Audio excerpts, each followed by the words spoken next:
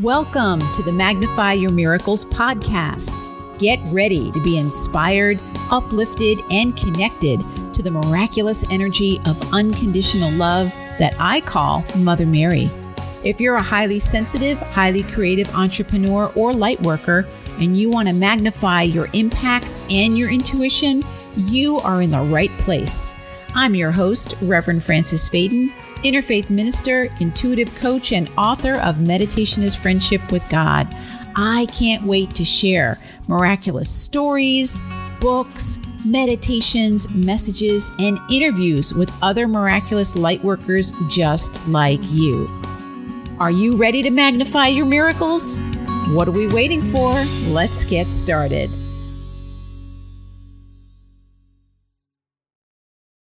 Hello, my miraculous friend, and welcome to another episode of the Magnify Your Miracles podcast. This is Reverend Frances Fayden, and I am so grateful that we get to spend this time together helping you to magnify your miracles.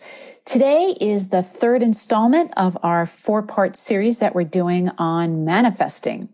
So we talked a lot in the previous two weeks about different aspects of manifesting. And I promised you that I would be sharing a really awesome book that will really expand your manifesting ability. Before we get into that, let's take a few deep breaths together. Just get ourselves grounded and centered.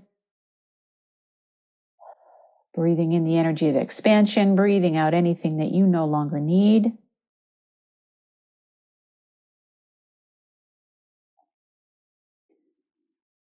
As we start to feel body, mind, and spirit aligning, coming into this moment, knowing that whatever it is that you need to hear to help you magnify your miracles is exactly what you're going to be hearing. Let's take one more deep breath together in gratitude, and we can begin. All right, my friend. Well, welcome once again. And if you are a longtime listener of the podcast, you will know that I have recommended many, many books over all these episodes that can definitely help you with law of attraction, definitely help you with manifesting. Um, I talked in the first previous episodes in the last couple of weeks about the difference between magnifying and manifesting and how they really are cousins to each other. But the book I'm going to share with you today I think is one of the best books for manifestation to really understand how it works, for you to consciously work with it, some easy things that you can do, and how you, as a highly sensitive person, as you, as for you, as somebody who feels things deeply, actually has an edge over everybody else when it comes to manifesting.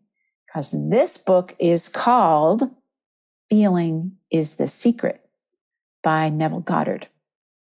Now, if you're not familiar with Neville Goddard, Neville, sometimes people just call him Neville.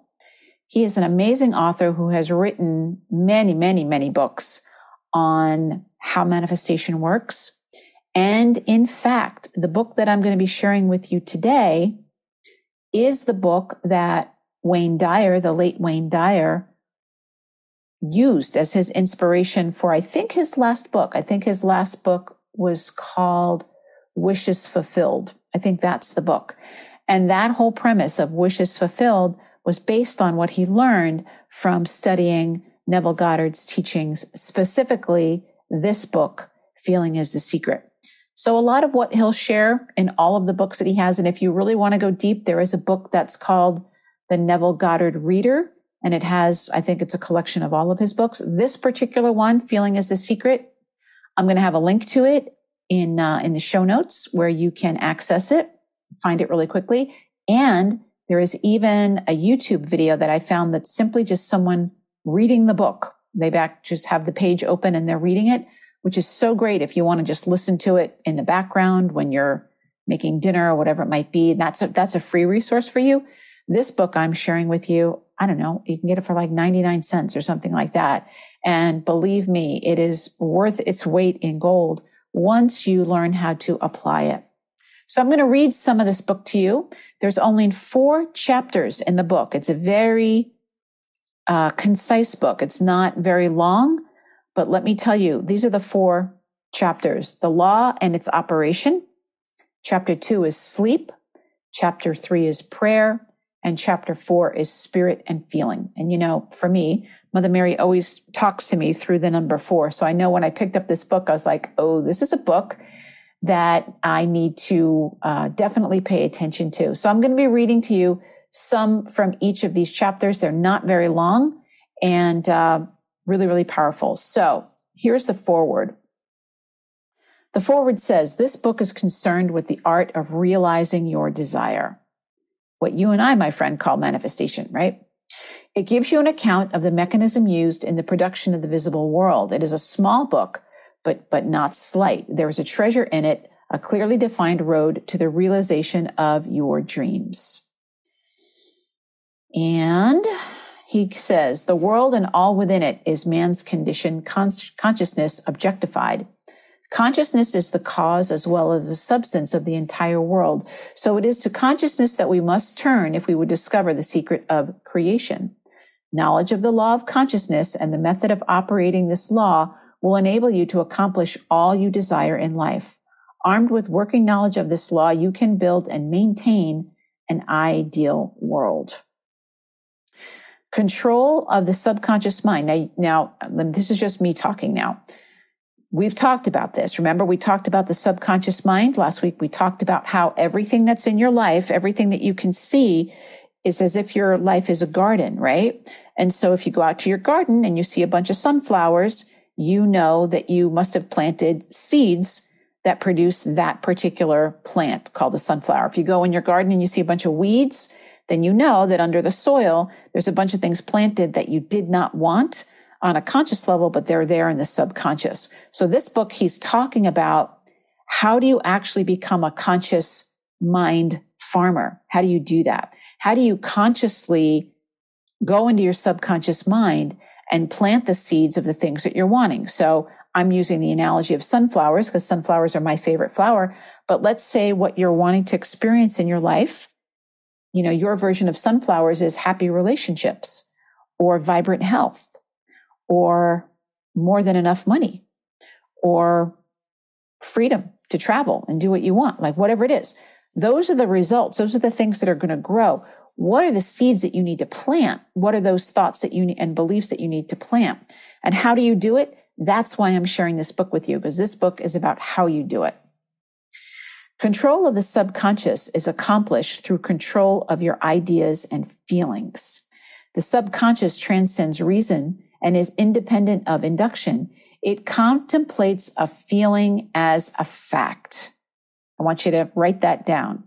The subconscious mind contemplates a feeling as a fact, existing within itself, and on this assumption proceeds to give expression to it. The creative process begins with an idea and its cycle runs its course as a feeling and ends in a desire to act. Ideas are impressed on the subconscious through the medium of feeling. And you and I, as highly sensitive people, we know how to have feelings. We know how to feel things very, very deeply, right? He goes on to say, no idea can be impressed on the subconscious until it is felt but once it felt, be good or bad or indifferent, it must be expressed. Feeling is the one and only medium through which ideas are conveyed to the subconscious. Therefore, you do not control your, therefore, the person who does not control his feelings may easily impress the subconscious with undesirable states, which is what we were just talking about. By control of feeling, it is not meant restraint or suppression of feelings. And this is really important. We're not suppressing our feelings, but rather the disciplining of the self to imagine and entertain only such a feeling as contributes to your happiness. Control of your feeling is all important to a full and happy life. Do not dwell on the imperfection of yourself or others. To do so is to impress the subconscious mind with these limitations. What you do not want done unto you, do not feel that it is done unto you or another. This is the whole law of a full and happy life. Everything else is commentary. Okay, and this is really important. Every feeling makes a subconscious impression, and unless it is counteracted by a more powerful feeling of an opposite nature, it must be expressed. the dominant of two feelings is the one expressed. Now, the reason I want to emphasize this to you is because you're going to have feelings all day long. We all do, right? It's the dominant feeling. Okay. So this is why if you're trying to do an affirmation like, I am successful, I am successful, but your dominant feeling is, I am a loser, then your dominant feeling is the one. This is why we have to actually practice being in these higher vibrations. Again, my friends, this is why I'm doing these divine love activations to put you in feeling states over and over again that are higher and become dominant rather than your other everyday feeling that you're used to, which is not the energy of unconditional love. So he says, I am healthy is a stronger feeling than I will be healthy. So I am healthy is a stronger feeling than I will be healthy. To feel I will be is to say that I am currently not. I am is stronger than I am not. What you feel you are always dominates what you feel you would like to be. Therefore, to be realized, the wish must be felt as a state that is, that is rather than a state that is not. Okay. And this is something that I also teach people about listening to your body. He says your body is an emotional filter and bears the unmistakable marks of your prevalent emotions. Emotional disturbances, especially suppressed emotion, are the cause of all disease. To feel intensely about a wrong without voicing or expressing that feeling is the beginning of dis-ease in both body and environment. Do not entertain the feeling of regret or failure for frustration or detachment from your objective results in disease. Think feelingly only of the state that you desire to realize. Feeling the reality of the state sought and living and acting on that conviction is the way of all seeming miracles. All changes of expression are brought about through a change of feeling. Now write this down. A change of feeling is a change of destiny. Now, have you noticed that? Like you can be having a feeling and then all of a sudden you like, you do something that shifts. Maybe you do your prayer practice. Maybe you talk to a therapist. Maybe you do something to change your energy, whatever it might be. And your feeling changes. And the next thing you know, you start having different experiences. And, and, and so hang on, because I'm going to be telling you what he says in here, like the easy, easy way to start working with this truth. He says the subconscious not, is not concerned with truth or falsity of your feeling. It always accepts as true that which you feel to be true. Whatever the mind of man can conceive and feel as true, the subconscious can and must objectify. So this is why I always start all of my podcasts and I always start everything I do with having people imagine that they're receiving what they need to receive. And then guess what happens? They do. They do. Here he goes on. The subconscious is the womb of creation. It receives the idea unto itself through the feelings of a person, and it never changes the idea received, but always gives it form. Hence, the subconscious outpictures the idea in the image and likeness of the feeling received. To feel a state as hopeless or impossible is to impress the conscious subconscious with the idea of failure. All right, so I'm going to go on here. Last part of this chapter. Your desires are not subconsciously accepted until you assume the feeling of their reality. For only through feeling is an idea subconsciously accepted, and only through this subconscious acceptance is it ever expressed. So this, let me tell you what this means, my friends. This means that you can have a lot of, you know, you can have a lot of feelings, you can have a lot of thoughts going on, you know, you can even have some fears going on, like, oh, you know, I'm afraid of this, I'm afraid of that. It is not until you assume the feeling so maybe you're afraid of uh, something happening. But if you get into that energy of like, oh, this is the reality. That's why people have to be really careful when they talk to doctors or whatever it is. Because if you accept the reality of like, this is the way it is, I am this way, and you assume that feeling completely, your subconscious mind says, okay, I guess that's what's going to be true, even if it's not true. I have seen stories of people who were given a wrong diagnosis. They were saying, I'm sorry, Mr. Smith. Um, you know, whatever you have, there's no cure for it. Go home.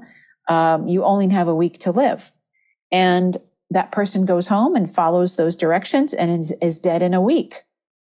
And then two weeks later, the, you know, the the hospital calls and says, Oh, I'm sorry, we got your file mixed up with somebody else. You actually have a clean bill of health. Well, too bad. Mr. Smith is gone, right? Because Mr. Smith's mind accepted that as truth. Now, that's obviously a very extreme example. This is why you want to be very careful. This is why I never watch regular television because I do not want to be flooded with all those pharmaceutical commercials trying to get into my mind and telling me I have all these things wrong with me. Uh, I don't watch it. And if it ever does come on, I mute it because I'm like, cancel. Nope, not for me. And this is a technique that you can do. If let's say you're around somebody, have a family member or a friend who complains about something, they're complaining about money, they're complaining about the economy, they're complaining about health, and they're saying, Oh, how bad it is when you get to a certain age, XYZ is going to happen, right? I hear this all the time. This is what I do because my conscious mind is still in charge. When somebody says to me, well, you know, as soon as you're over this age, this is going to happen. In my mind, I say, cancel, not true for me. And what that does is it stops that information from going down into my subconscious mind. Cancel, not true for me. I once went to an eye doctor when I was 39 and he said to me, oh, as soon as you turn 40, you know, something's going something not good is going to happen with your eyes. And I, I looked at him because I he was so emphatic about it. And I said, cancel. That's not going to be true for me. And you know what? It wasn't. Wasn't true for me at all. So that's a tool that you can use to just say in your mind, cancel, cancel, not true for me, not true for me. That keeps your conscious mind from accepting any, any negativity that you don't want to get in there. All right. So now the next chapter, really important, is sleep. Okay, let me find out where it is. Whatever you have in consciousness as you go to sleep is the measure of your expression in the waking two thirds of your life. So he says, because all things come from within yourself, your conception of yourself determines that which comes. You should always feel the wish fulfilled before you drop off to sleep. You must be in the consciousness of being or having that which you want to have or be before you drop off to sleep. So this is what Wayne Dyer teaches from this book is I want you to start asking yourself this question to really up your manifesting ability. As you're getting in bed and you're laying down and you're not asleep yet, ask yourself the question. I actually have it as a sticky note on my bed, my nightstand that says, now that all of my wishes are fulfilled. How do I feel? And so I let myself go to bed imagining all my wishes fulfilled and not just thinking about them. I'm not thinking about, you know, what my business is going to look like or any of that. I'm thinking about the feeling. I'm letting myself feel what it's like to have a business that is blessing people all over the world. I'm letting myself feel what it's like to have a completely healthy body. I'm letting myself feel the amount of money that um, is in my bank account that is, you know, the fulfillment of my wish, whatever that might be. And so what am I feeling when I'm falling asleep? I'm feeling peaceful. I'm feeling grateful. I'm feeling this sense of accomplishment and expansion. And I'm feeling like, ah, this is my life now. So I'm falling asleep in the emotion, in the feeling of this is my life now. This, my friend, is such a powerful thing. Sometimes it could be hard to do this in the daytime when we're dealing with our life, but if we can do this when we're getting ready to fall asleep, it's so much easier. So he says, you must be in the consciousness or being or having that which you want to be or have before you drop off to sleep. Once you're asleep, you have no freedom of choice. Your entire slumber is dominated by the last waking concept of yourself. It follows, therefore, that you should always assume the feeling of accomplishment and satisfaction before you retire into sleep. And then he quotes scripture and says, Come before me with singing and thanksgiving Enter into his gates with thanksgiving and into his courts with praise. Your mood prior to sleep defines your state of consciousness as you enter into the present of your everlasting lover, the subconscious. She sees you exactly as you feel yourself to be. If, as you prepare for sleep, you assume and maintain the consciousness of success by feeling, I am successful, you must be successful. Lie flat on your back with your head on a level with your body and feel as you would were you in possession of your wish and quietly relax into sleep. Night after night, you should assume the feeling of being, having, and witnessing that which you seek to be, possess, and see manifested. Never go to sleep feeling discouraged or dissatisfied. Never sleep in the consciousness of failure. So he talks about this. I'm going to not read this whole book to you because I totally could. Um, see here dropping off, this is the end of this chapter, dropping off to sleep feeling satisfied and happy compels conditions and events to appear in your world which confirm these attitudes of mind. What you take in as a feeling, you bring out as a condition, an action, or an object in space. So sleep in the feeling of the wish fulfilled, as in consciousness, so on earth. And then, my friend, he talks about prayer in the same way. He says that prayer is a lot like going into that sleep vibration, that altered state. He says prayer is not so much what you ask for as how you prepare for its reception. The only condition required is that you believe that your prayers are already realized. The moment you accept the wish as an accomplished fact, the subconscious finds the means for its realization. To pray successfully, then, you must yield to the wish that is the feel the wish fulfilled. And he goes on and says prayer is the art of yielding to the wish and not forcing of a wish. Whenever your feeling is in conflict with your wish, feeling will be the victor. The dominant feeling invariably expresses itself. Prayer must be without effort. In attempting to fix an attitude of mind which is denied by the senses, effort will be fatal. All you can possibly need or desire is already yours. How many times do I say that? You need no helper to give it to you. It is yours now. Call your desires into being by imagining and feeling your wish fulfilled. And then the last chapter, he's talking about what is spirit and how can you do the works similar to what Jesus did because Jesus knew his oneness with spirit. So that, my friends, is the book I'm recommending for you for your manifestation journey. Feeling is the Secret by Neville Goddard.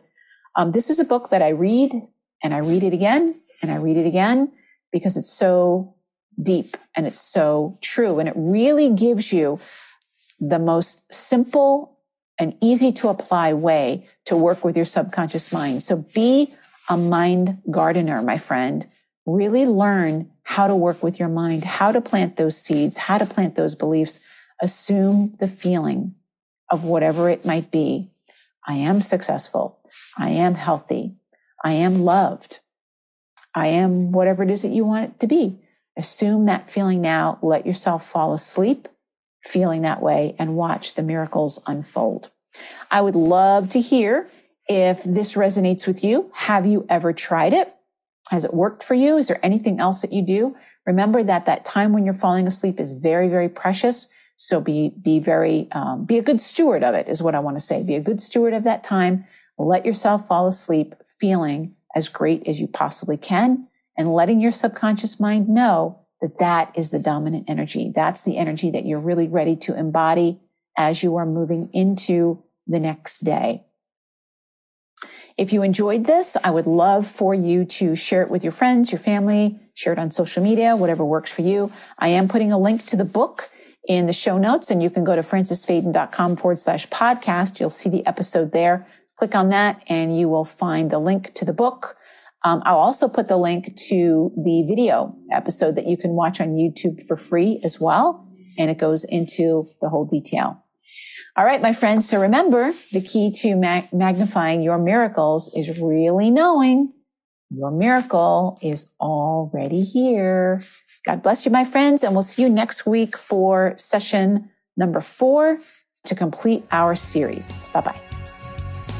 Thank you for listening to the Magnify Your Miracles podcast. I'm so grateful to be able to spend this time with you. If you want even more inspiration, feel free to visit my website, francesfayden.com or magnifyyourmiracles.com. And if you did enjoy this episode, I would really appreciate it if you left a review on iTunes, Stitcher, or wherever it is that you connect with awesome podcasts. Remember, the key to magnifying your miracles is remembering that your miracle is already here.